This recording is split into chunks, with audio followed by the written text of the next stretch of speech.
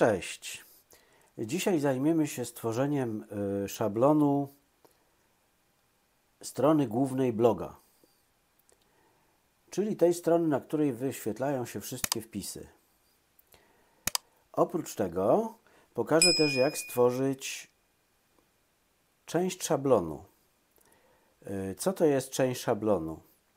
Jest to taki moduł, którego później możemy używać y, przy tworzeniu innych szablonów. Y, tutaj ja pokażę to na przykładzie stworzenia banera, który będziemy mogli później w różnych szablonach, nie będziemy go musieli tworzyć od nowa za każdym razem, tylko po prostu y, będziemy go wstawiać jako część szablonu. To jest coś takiego podobnego jak tworzyliśmy już wzorzec ale to jest y, co innego, dlatego że y, to można używać tylko w szablonie. No to zaczynamy. Jak zwykle przechodzimy sobie do naszego edytora. I tutaj dodamy sobie szablon. Główna strona bloga.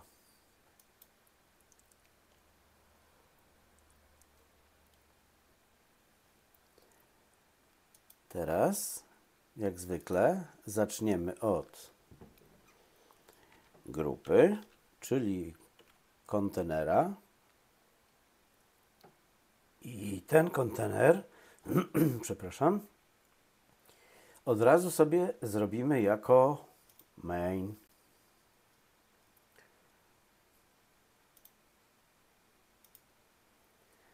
Tak. I od razu na początku możemy sobie tutaj dodać nasz yy, header, czyli główny header, a także nasz footer, główny footer. I tak mamy główne elementy już dodane. Zapiszemy to sobie teraz. I teraz jeszcze Wam pokażę tutaj. Szablon, główna strona bloga. On tutaj w edytorze od razu.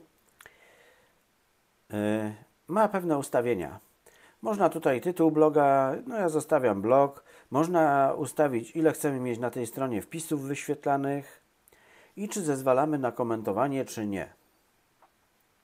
Yy, tutaj jeszcze w obszarach będzie się wyświetlało yy, no na razie się nie wyświetla, nie wiem czemu, ale będzie się wyświetlało przy, przy następnym otwarciu tego szablonu. Będą się wyświetlały obszary, jakie mamy, czyli tam, tak jak już w tej chwili mamy header i footer, tak?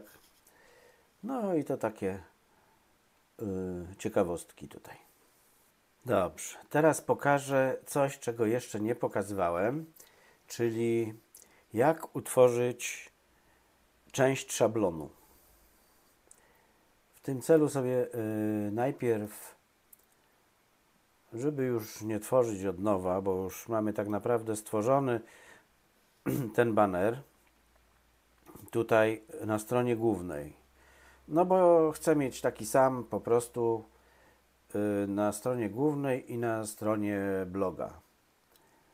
Czyli tu sobie po prostu zrobię kopiuj Teraz przejdę z powrotem do edytora.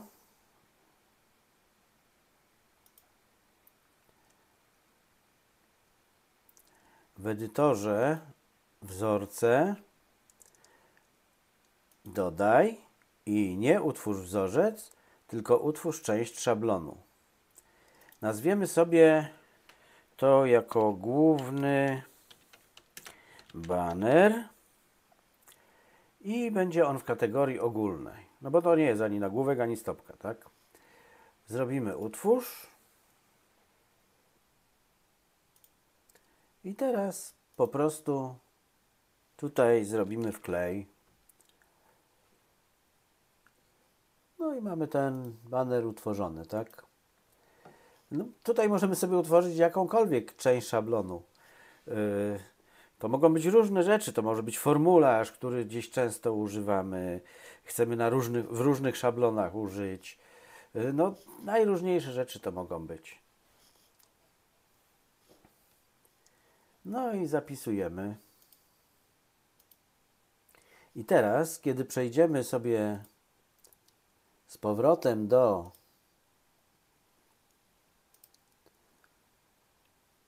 yy, wzorców, może pokażę jeszcze wcześniej nawet. O, jak tu sobie w edytorze wejdziemy do wzorców, to teraz tu mamy części szablonu. I wcześniej już mieliśmy nagłówek i stopka i ogólne. Teraz mamy i w ogólnych mamy główny baner. No i co? Jeżeli już to mamy, no to sobie idziemy do naszego szablonu. Oj, niepotrzebnie wyszedłem. Yy, idziemy sobie do naszego szablonu. Główna strona bloga, bo ten tworzymy. Edytujemy go. No i teraz co my tu mamy? Mamy główny header i główny footer. No pod headerem chcemy umieścić, może jak ja to robię, zaznaczam sobie yy, blok, pod którym chcę umieścić następny blok i wduszam Enter. I wtedy się robi nowy akapit. No i w tym akapicie jak zwykle tworzymy, tutaj możemy sobie wpisać część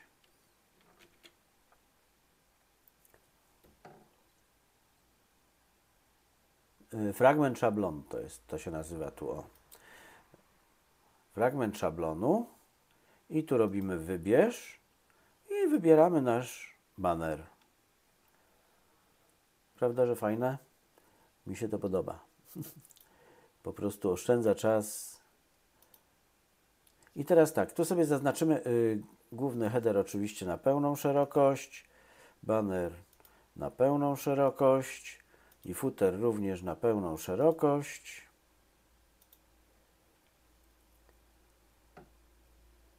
No i możemy zapisać. No i co nam pozostało? Teraz pozostało nam umieścić tutaj to, co ma na tej stronie się znajdować.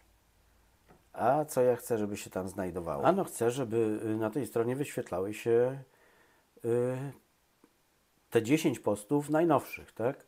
Czyli teraz sobie zrobię znowu. Yy, dobra, możemy zrobić tak. Pokażę innym sposobem. Tu można zrobić dodaj po. O, to jest inny sposób niż Enter. I tutaj znowu sobie robimy grupę. I w tej grupie ja sobie chcę dodać to w taki sposób, że będą dwie kolumny. W jednej kolumnie będą się wyświetlały te posty, a w drugiej kolumnie będzie nasz sidebar, który już zresztą też mamy stworzony. E, no więc tutaj kolumnę damy i chcę, żeby były kolumny o takiej proporcji. I w tej kolumnie dodamy sobie i teraz, jak ja to chcę tutaj zrobić? Ja sobie wymyśliłem, że dodam sobie yy, post timeline. O, to jest takie coś. Tak to będzie wyglądać, z tym, że jeszcze to troszeczkę tutaj postylujemy za chwilę.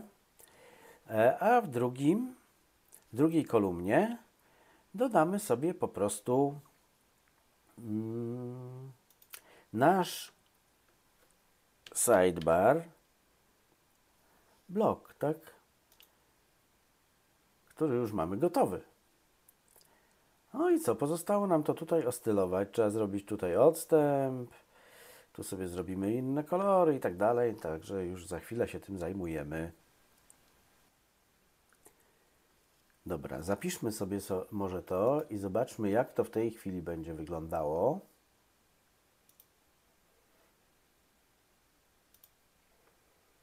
Mm. Odświeżymy. Chociaż nie było to potrzebne, ale dobra jest. E, Wejdziemy sobie teraz już w blog.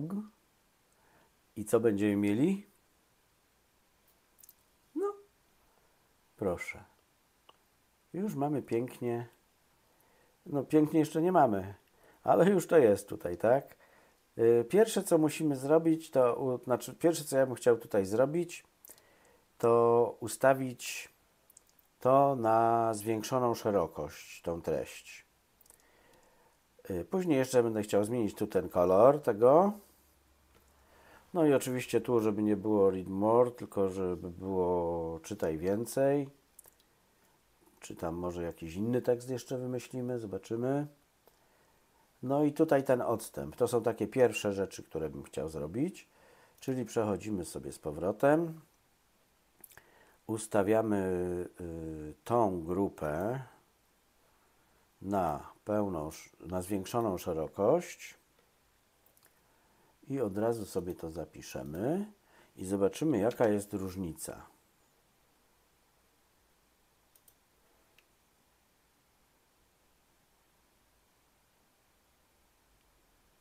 No, lepiej, nie? Dobra. Y, No i do, idziemy dalej. Tutaj między y, kolumnami zrobimy sobie przerwę.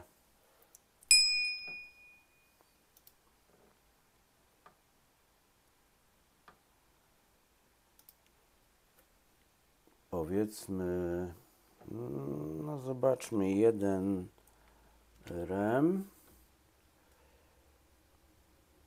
Wystarczy? No zobaczmy, jak to wygląda. Czy nam się tak będzie podobało, czy nie. E, Tu będzie to najlepiej widać w tym miejscu.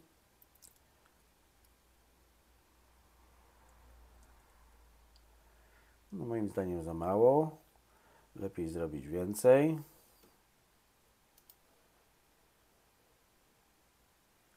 Chociaż może, może wystarczy tyle więcej, nie będziemy robić, ale te kolumny tu zrobię na zwiększoną szerokość też.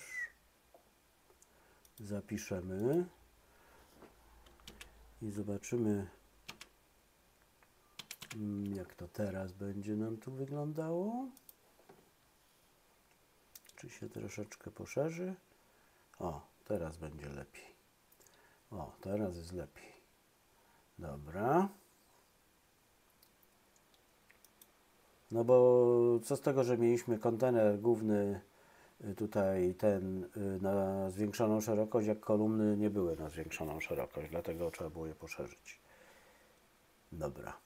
No i teraz zajmiemy się pozostałymi duperelkami. Przechodzimy sobie do y, tego post timeline, tej linii czasu postów.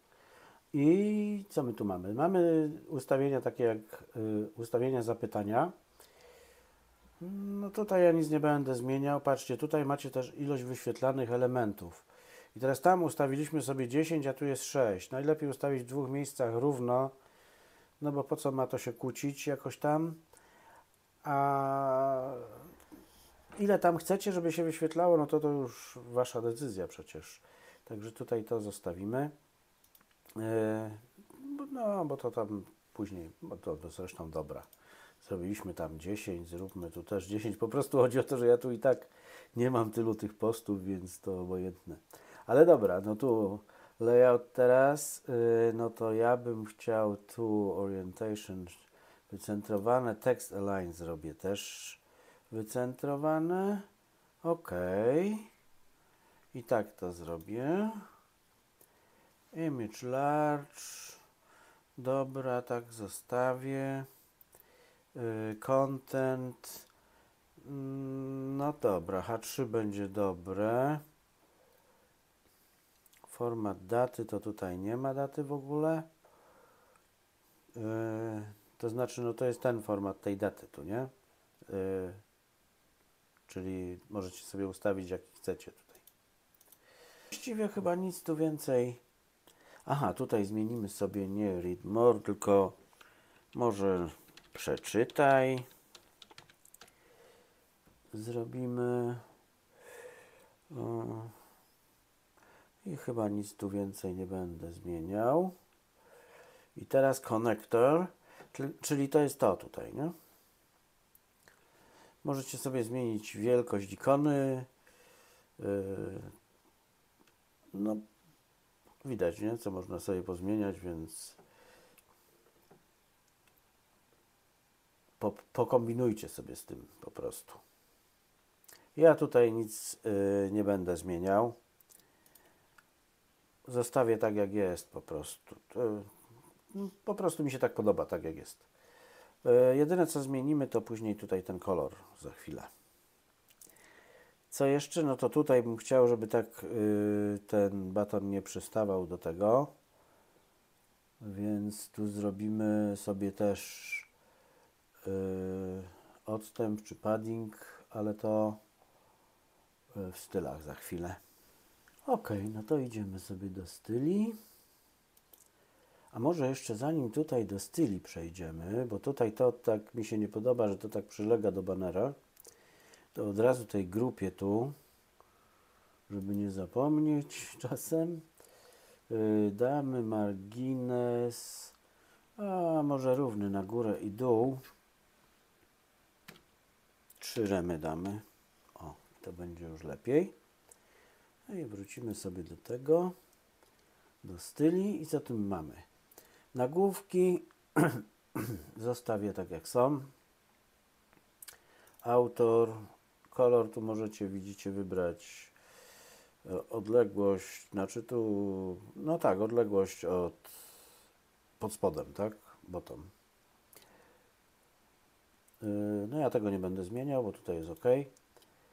Co tu jeszcze? Content też ma dobry odstęp, natomiast yy, przy dacie też nic nie będę zmieniał, ale właśnie przy CTA kolory to ok, bo to są kolory domyślne z naszego JSONa, ale tu właśnie bottom spacing, no to ja bym sobie zrobił yy, 30.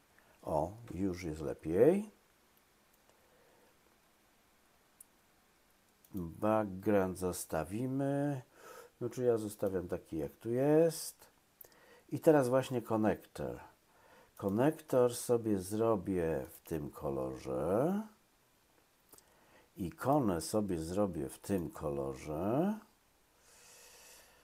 E, background taki i border też zrobię taki. E, Dobra. Powinno być ok. Fokus. Fokus, czyli tutaj chodzi o to, że yy, no jak to jest podświetlone, jak to wygląda, nie? No to zrobimy sobie podświetlony yy, taki jasny. Yy, ikona wtedy będzie biała. I border też taki, o. O, tak to będzie ok. To byśmy mieli i spacing. Odstęp między postami tu można. No to zostawiam, tu nic nie zmienię. Dobra, zapiszemy sobie. I przejdziemy do tego, zobaczymy jak to tu wygląda. Mm, jak odświeżymy.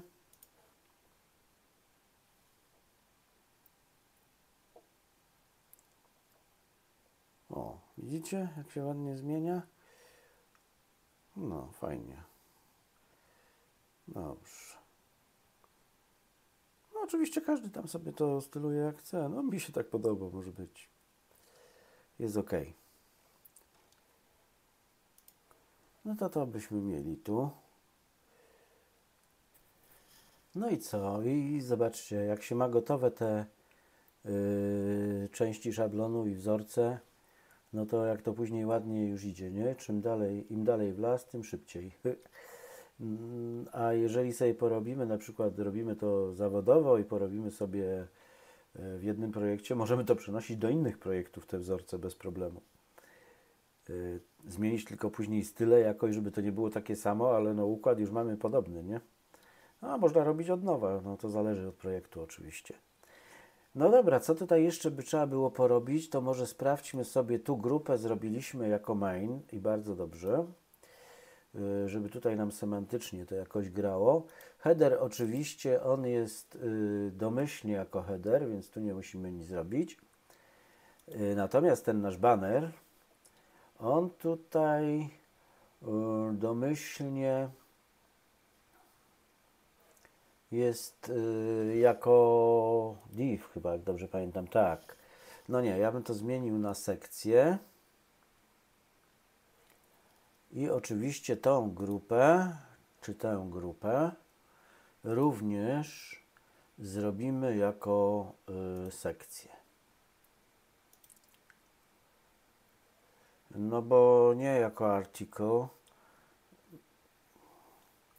no bo tutaj są obydwa, tak? I treść i sidebar, więc to by było niedobrze. Bo tutaj na przykład sidebar blog mamy jako aside tam później chyba. Bo w kolumnie no nie możemy ustawiać tego niestety zmieniać, nie? Także no tutaj zrobimy to jako sekcję. No i futer oczywiście jest domyślnie jako futer, więc tu nic nie trzeba robić. No to zobaczcie, jest futer domyślnie. Zapiszemy. OK. I możemy sobie teraz jeszcze przejść tu, odświeżyć. Jeszcze raz sprawdzić, czy wszystko na pewno wygląda tak, jak chcemy. OK, wygląda tak, jak chcemy. Tu sobie możemy sprawdzić, jaką mamy strukturę. Mamy main, header, sekcja, sekcja, footer. No jest ekstra, nie? No i co? Mamy gotowy szablon wpisu. No dzisiaj to było tyle. Do zobaczenia następnym razem.